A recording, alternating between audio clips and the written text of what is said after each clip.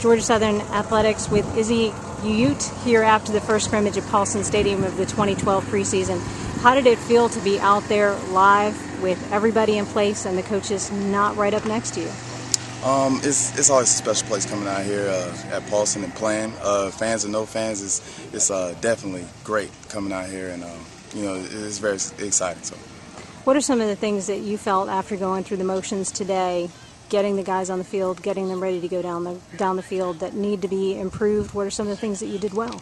Um, as far know, executing, that's that's a big thing that uh, I felt like we we uh, we lagged on today. You know, uh, we drove the ball pretty well, and um, we didn't finish, and um, that's that's a little uh, disappointing, and um, on my part, and uh, that's that's that's some of the things I need to work on. You've got a few people in new positions what are some of the things that you're going to do as a leader to pull that team back together after you guys get a chance to watch the film?